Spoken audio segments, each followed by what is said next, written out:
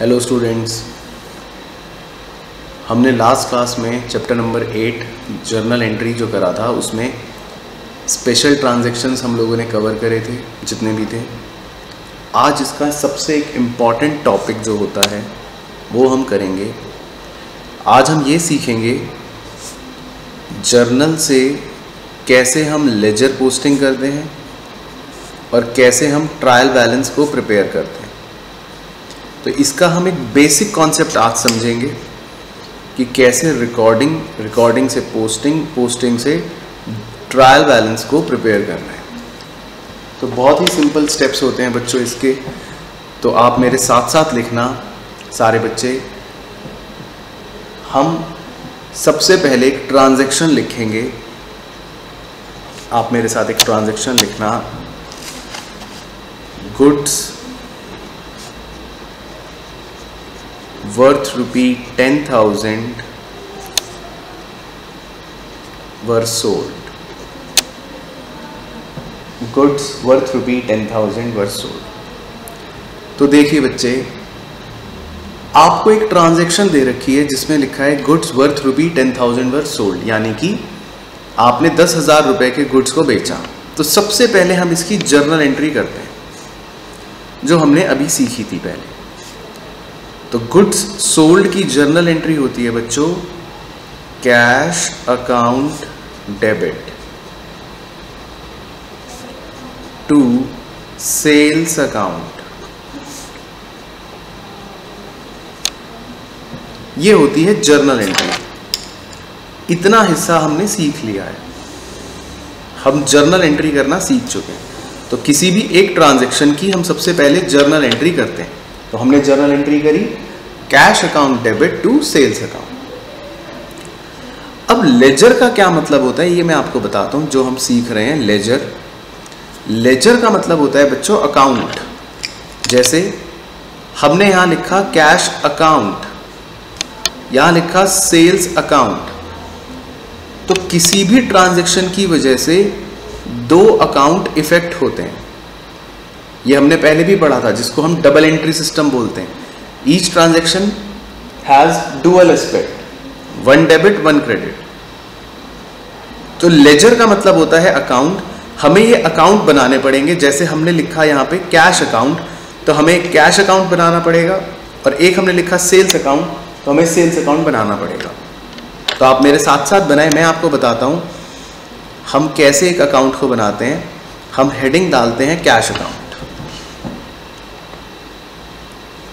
ये जो अकाउंट होता है, ये कुछ भी नहीं, एक बड़ा सा टी होता है, जो इंग्लिश का अल्फ़ाबेट टी है, वो होता है, इसको बोलते हैं टी शेप अकाउंट इसको टी इसलिए बोलते हैं, इस बड़े से टी शेप में दो साइड्स होती हैं लेफ़्ट हैंड साइड और right hand side left hand side को बोलते हैं डेबिट साइड जिसको डिनोट करते हैं डी आर से. और राइट हैंड साइड को बोलते हैं क्रेडिट साइड जिसको डिनोट करते हैं।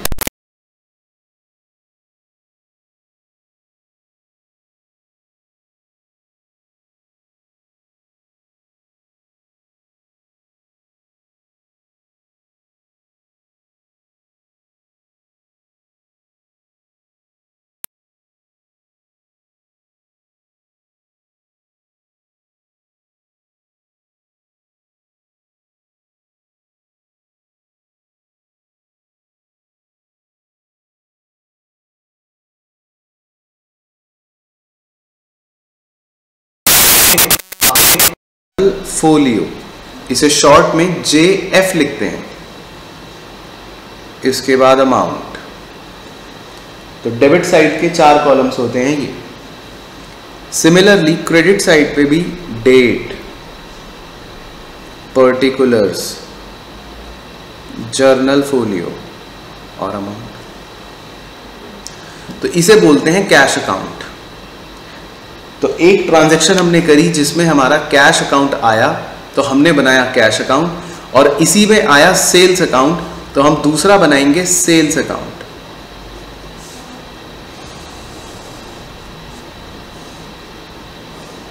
इसमें भी वही डेबिट और क्रेडिट साइड और वही चार चार कॉलम्स डेबिट और क्रेडिट साइड पर.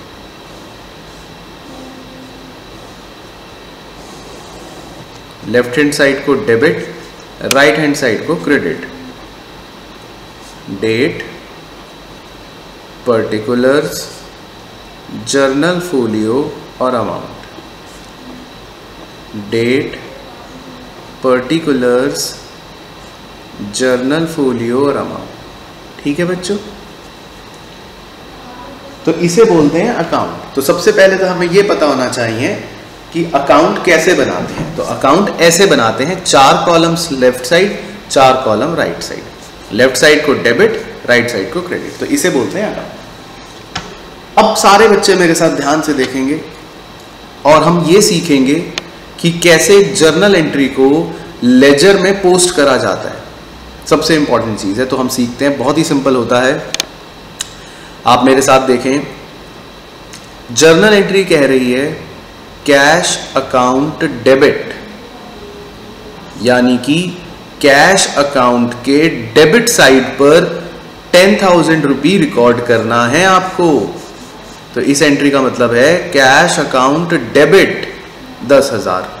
तो आप कैश अकाउंट में जाओ, कैश अकाउंट के डेबिट साइड पर आओ और डेबिट साइड में आपको रिकॉर्ड करना है टेन थाउज़ेंड। तो ये जो दस हज़ार रुपये लिखे हैं, ये कहाँ रिकॉर्ड हो जाएँगे? यहाँ रिकॉर्ड हो जाएँगे। क्योंकि लिखा है कैश अकाउंट को डेबिट करो दस हज़ार रुपये से। तो हमने कैश अकाउंट को डेबिट साइड पर दस हज़ार रुपये लिख दिए। ठीक है बच्चों? अब पर्टिकुलर्स में क्या लिखते हैं, ये मैं आपको बताता हूँ। जर्नल फोलियो में आपको कुछ नहीं लिखना, ये सिर्फ़ फॉर्मेलिटी के लिए बनाया जाता है कॉलम और डेट में आपको डेट लिखनी होती है। फ़िलहाल इसमें कोई डेट नहीं है तो हम कुछ नहीं लिखेंगे। तो पर्टिकुलर्स में क्या लिखते हैं वो मैं आपको बताता हूँ आप ध्यान से देखना। जर्नल एंट्री है cash account debit ten thousand तो मैंने कैश अकाउंट को डेबिट कर दिया टेन थाउज़ेंड लेकिन ये टेन थाउज़ेंड किसकी वजह से डेबिट हो रहा है? तो नीचे लिखा है टू सेल्स अकाउंट तो आपको ये टू सेल्स अकाउंट ये पर्टिकुलर्स में लिखना पड़ेगा यहाँ पे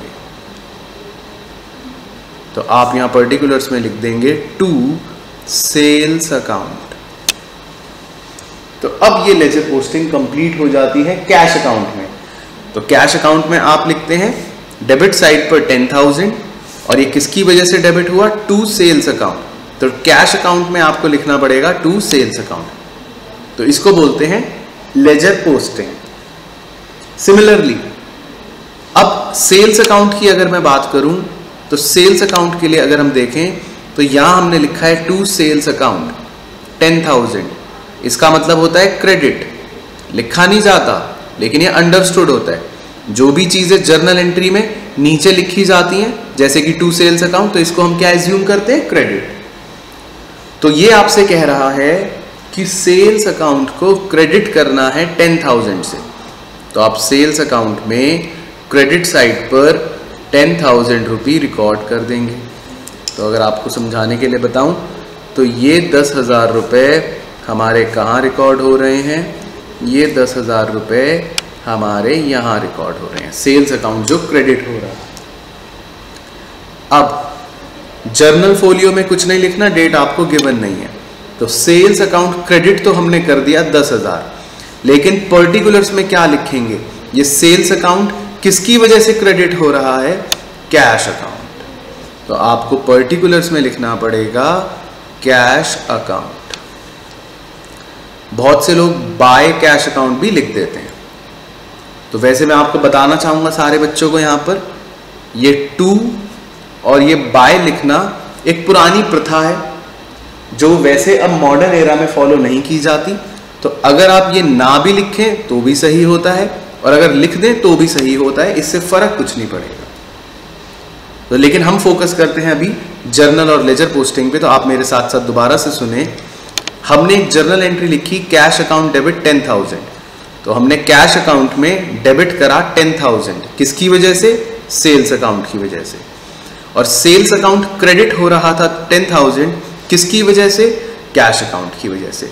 तो इसे बोलते हैं डबल पोस्टिंग सिस्टम जिसमें हमने जर्नल भी कर लिया और जर्नल से लेजर में पोस्टिंग भी कर लिया। तो बच्चों को इतना क्लियर हो गया सबको? एक और ट्रांजेक्शन करते हैं, इसके बाद नेक्स्ट और क्लैरिटी के लिए एक और क्लैरिटी कर लेते हैं।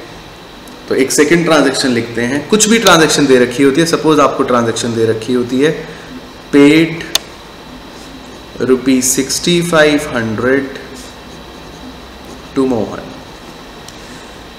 अब सारे बच्चे ध्यान से समझना, आपको कोई भी ट्रांजेक्शन दे सकता है क्वेश्चन में, कोई भी ट्रांजेक्शन दे रखी होती है, आपको बस उसकी पहले जर्नल एंट्री करनी है। तो हम करते हैं, इतना हम सीख चुके हैं। पेड 6500 टू मोहन इसकी जर्नल एंट्री लिखो आप बच्चे मेरे साथ। मोहन कभी भी किसी पर्टिकुलर पर्सन के नाम के आगे हम अकाउंट वर्ड नहीं लगाते हैं। तो ये आप बच्चे ध्यान रखें जनरली नहीं लगाते हैं। तो हम खाली मोहन लिखते हैं। बोल सकते हैं, Mohan account debit 6500 to cash account 6500 तो ये है हमारी journal entry Mohan account debit to cash account अब फिर से एक जर्नल एंट्री हमने करी तो हमें फिर से लेजर पोस्टिंग करनी पड़ेगी. अब उसके लिए अकाउंट देखें इस जर्नल एंट्री में कौन कौन से अकाउंट है? एक तो मोहन अकाउंट और एक कैश अकाउंट कैश अकाउंट हमारे पास ऑलरेडी है। तो मैं आपके लिए एक मोहन अकाउंट और बना देता हूँ। अकाउंट मतलब लेजर लेजर मतलब वही टी शेप पहले बड़ा सा टी लेफ़्ट साइड को डेबिट राइट साइड को क्रेडिट लेफ़्ट साइड में भी चार कॉलम्स और राइट साइड में भी चार columns very simple date particulars journal folio amount date particulars journal folio और अमाउंट बहुत ही सिंपल बच्चों। अब जर्नल एंट्री पढ़ेंगे और मुझे तो पक्का यकीन है, आप ही मुझे बता देंगे कि क्या करना है। पढ़ते हैं जर्नल एंट्री इसमें लिखा है मोहन अकाउंट डेबिट 6500 यानी कि मोहन अकाउंट के डेबिट साइड पर लिखना है 6500 तो मोहन अकाउंट डेबिट 6500 किसकी वजह से मोहन डेबिट हो रहा है? टू कैश अकाउंट, बिल्कुल सही। तो टू कैश अकाउंट आपका पर्टिकुलर्स में आ जाएगा तो बस ये आपकी मोहन अकाउंट में लेजर पोस्टिंग कंप्लीट हो गई। अब इसका दूसरा एस्पेक्ट देखते हैं। टू कैश अकाउंट इसका मतलब कैश अकाउंट क्या हो रहा है? क्रेडिट हो रहा है अंडरस्टूड होता है तो यानी कि कैश अकाउंट क्रेडिट 6500 तो हम कैश अकाउंट में क्रेडिट साइड पर लिख देंगे 6500 तो कैश अकाउंट क्रेडिट हो रहा है किसकी वजह से? मोहन की वजह से। तो पर्टिकुलर्स में बन जाएगा बाय मोहन। तो बस, ये हो गई हमारी लेजर पोस्टिंग तो बहुत सिंपल प्रोसेस होता है बच्चों। किसी भी ट्रांजेक्शन की आप जर्नल एंट्री पहले लिख लो और जर्नल को देखकर किसी भी अकाउंट में आप लेजर में पोस्टिंग कर सकते हैं सॉरी अब इतनी चीज़ सीखने के बाद मैं आपको अब इस लेजर को कैसे क्लोज करते हैं वो सिखाता हूँ। अगला स्टेप तो आप सारे बच्चे मेरे साथ ध्यान से देखना, हम कैसे क्लोज करते हैं। हम डेबिट और क्रेडिट साइड का टोटल करते हैं। डेबिट और क्रेडिट साइड का टोटल करते हैं और दोनों में से जिस भी साइड का टोटल ज़्यादा होता है, ध्यान से सुनना मेरे बच्चों सारी बात दोनों में से जिस भी साइड का टोटल ज़्यादा होता है, हम वो ही टोटल दोनों साइड लिखते हैं। सर, ये तो कुछ अजीब सी बात कह रहे हो आप। हाँ इसमें आपको यही करना है। डेबिट साइड का टोटल है टेन थाउज़ेंड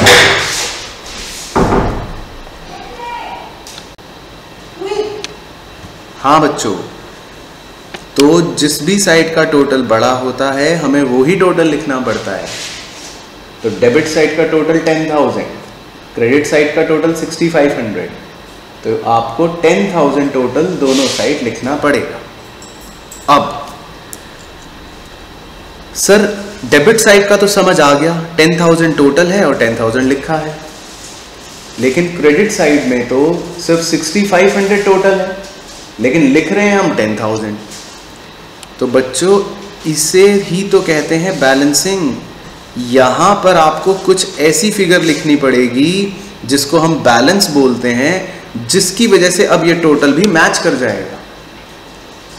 तो अगर मैं नटशेल में बोलूँ तो यहाँ पर आपका बैलेंसिंग फिगर बचेगा, जिसको लिखते ही इस साइड का टोटल भी टेन थाउज़ेंड आना शुरू हो जाएगा। तो अगर मैं ये बैलेंसिंग फिगर पूछूँ तो ये बैलेंसिंग फिगर आप मुझे बता सकते हैं ten thousand minus sixty five hundred that is thirty five hundred तो अब ये साइड का भी टोटल टेन थाउज़ेंड आ गया और इस फिगर को बोलते हैं बैलेंसिंग फिगर जिसको हम कैसे लिखते हैं? हम लिखते हैं by balance carried down C D short में लिखते हैं। तो बच्चों, ये होता है बैलेंसिंग करना। इस प्रोसेस को बोलते हैं बैलेंसिंग तो बैलेंसिंग कैसे करते हैं? जिस भी साइड का टोटल ज़्यादा होता है, वो टोटल लिखते हैं। ऑटोमेटिकली आपको पता चल जाएगा बैलेंसिंग फिगर सेम प्रोसेस अब इस अकाउंट में करते हैं। इस अकाउंट में डेबिट साइड का टोटल तो कुछ भी नहीं है ज़ीरो और क्रेडिट साइड का टोटल है टेन थाउज़ेंड तो बताइए बच्चों, दोनों साइड क्या लिखना पड़ेगा हमें? टेन थाउज़ेंड तो सर क्रेडिट साइड का तो ठीक हो गया टोटल लेकिन डेबिट साइड में यहाँ पर आपको एक फिगर एक बैलेंस लिखना पड़ेगा, ताकि ये टोटल मैच करे। तो यहाँ पे तो कुछ भी नहीं लिखा हुआ था। तो यहाँ पे आपका बैलेंस ही टेन थाउज़ेंड बच जाएगा। और इसको लिखेंगे टू बैलेंस कैरेट डाउन ठीक है बच्चों? इसी तरह मोहन अकाउंट उसकी भी बैलेंसिंग कर लेते हैं। तो डेबिट साइड का टोटल है 6500 और क्रेडिट साइड का टोटल है ज़ीरो तो हम क्या लिखेंगे दोनों साइड 6500 तो 6500 इधर बचेगा, क्या बैलेंस सेम 6500 और इसको क्या बोल देंगे? बाय बैलेंस कैरेट डाउन ठीक है बच्चों? तो इस प्रोसेस को बोलते हैं बैलेंसिंग तो अभी तक हमने क्या सीखा? कि किसी भी ट्रांजैक्शन की पहले जर्नल एंट्री करते हैं, जर्नल से कैसे लेजर पोस्टिंग करते हैं और हर लेजर को कैसे टोटल करते हैं और उसके बाद बैलेंस निकालते हैं। अब, इसी के आगे आप सारे बच्चे मेरी बात सुनना ध्यान से। अगर आप नोटिस करें तो कैश अकाउंट में इधर बच रहा है बैलेंस सेल्स अकाउंट में इधर बच रहा है बैलेंस और मोहन अकाउंट में भी क्रेडिट साइड पर बच रहा है बैलेंस तो आप बच्चों को यहाँ पर मैं एक चीज़ सिखाता हूँ, जो क्रेडिट साइड पर ये बैलेंस बच रहा है 3500 इसे पता है बच्चों क्या बोला जाता है? इसे बोला जाता है debit balance sir debit balance ये तो क्रेडिट साइड पर बच रहा है सर हाँ जी. इसे बोला जाता है डेबिट बैलेंस क्योंकि जब आपकी डेबिट साइड बड़ी होती है और क्रेडिट साइड छोटी होती है तो this balance denotes debit balance तो ये आप बच्चे मार्क करके लिख लेना this 3500 is your debit balance similarly this balance 10000 जो डेबिट साइड पर बच रहा है ten thousand this is your credit balance और क्यों है ये क्रेडिट बैलेंस क्योंकि आपका क्रेडिट साइड का टोटल ज़्यादा था और डेबिट साइड का टोटल तो वैसे इसमें ज़ीरो था, कुछ भी नहीं था। तो इसीलिए क्रेडिट साइड का टोटल ज़्यादा था डेबिट का कम था।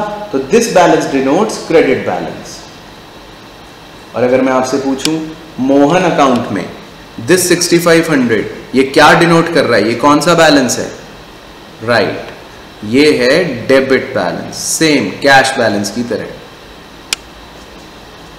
तो ये तीनों चीज़ें आप मेंशन कर लेना। तो जो हमने सीखा है, ये प्रोसेस है, बहुत ही बेसिक प्रोसेस होता है कि कैसे हम कोई जर्नल एंट्री करते हैं, कैसे उस जर्नल एंट्री से लेजर में पोस्टिंग करते हैं, कैसे उस लेजर पोस्टिंग में हम टोटल करते हैं और कैसे उसमें बैलेंसेस निकालते हैं। और ये भी पहचानना है आपको कि ये होते हैं डेबिट बैलेंसेस और ये होता है क्रेडिट बैलेंस तो इतना प्रोसेस सीखने के बाद अब मैं आपको आगे लेके जाता हूँ कि कैसे जब हम सारे के सारे लेजर बनाते हैं तो उसके बाद फिर फाइनली ट्रायल बैलेंस बनाया जाता है। तो हम इसके बाद ये सीखते हैं कि ट्रायल बैलेंस कैसे बनाया जाता है। तो मैं आपको बताता हूँ ट्रायल बैलेंस के बारे में सारी बातें। ट्रायल बैलेंस आपको पता है बच्चों ट्रायल बैलेंस कंपनी किसी भी पर्टिकुलर डेट पर बना सकती है। ये ज़रूरी नहीं है कि वो बैलेंस आपका ट्रायल बैलेंस ईयर के एंड पर ही बनाएगी। ट्रायल बैलेंस किसी भी दिन बनाया जा सकता है, या तो मंथ एंड पर या किसी भी पर्टिकुलर डेट पर। सर ट्रायल बैलेंस का फॉर्मेट कैसा होता है? तो बच्चों ट्रायल बैलेंस में टोटल फाइव कॉलम्स होते हैं। तो पहले आप मेरे साथ साथ बनाएँ। मैं आपको बताता हूँ कैसे कैसे इसमें कॉलम्स बनते हैं। इसमें टोटल फाइव कॉलम्स हमें बनाने होते हैं।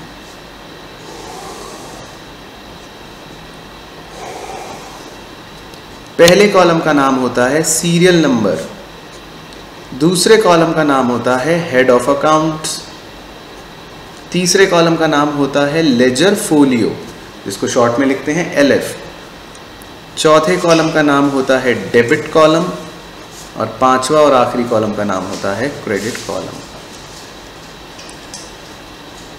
सर, ये ट्रायल बैलेंस होता क्या है?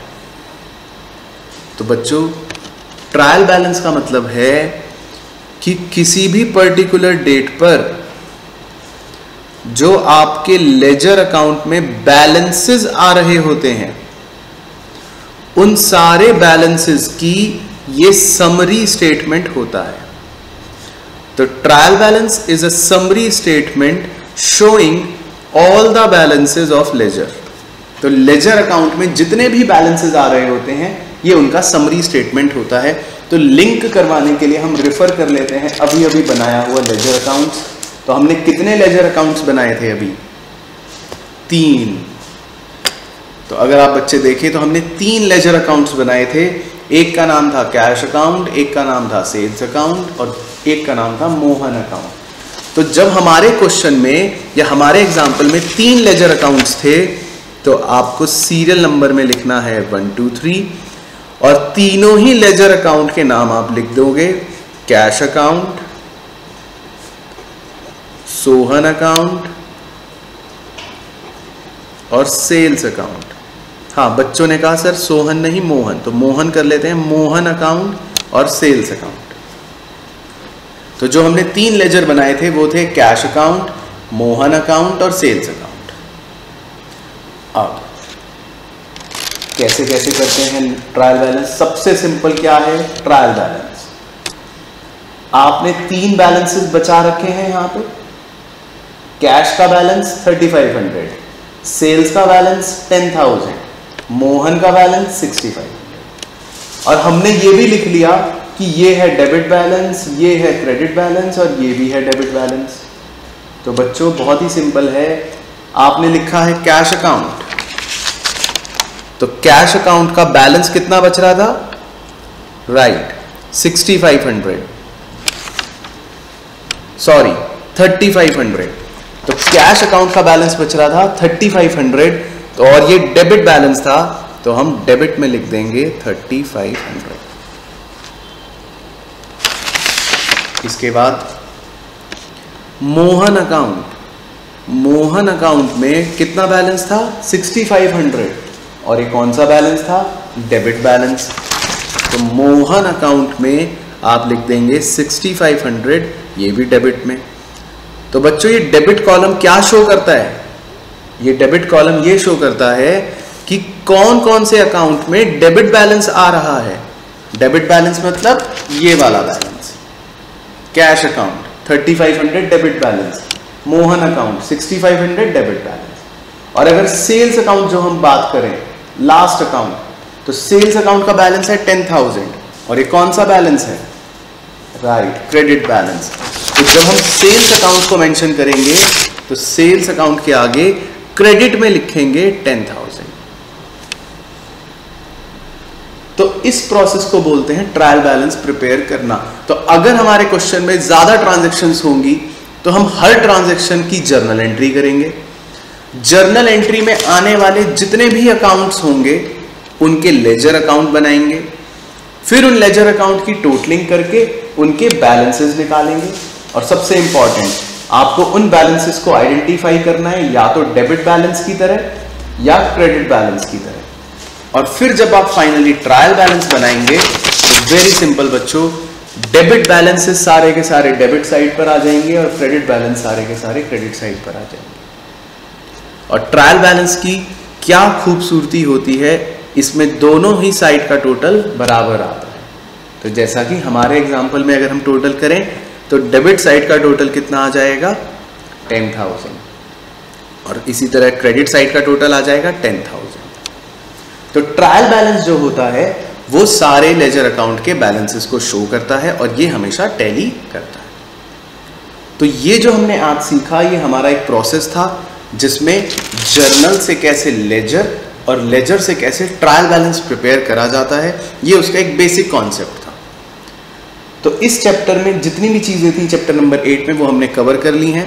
चैप्टर नंबर एट में हमने सारी की सारी जर्नल एंट्रीज जर्नल एंट्री से लेजर की पोस्टिंग और लेजर की पोस्टिंग से ट्रायल बैलेंस प्रिपेयर करना हमने इसमें सीख लिया है।